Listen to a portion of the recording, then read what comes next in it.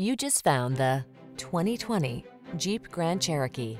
With less than 20,000 miles on the odometer, this vehicle provides excellent value.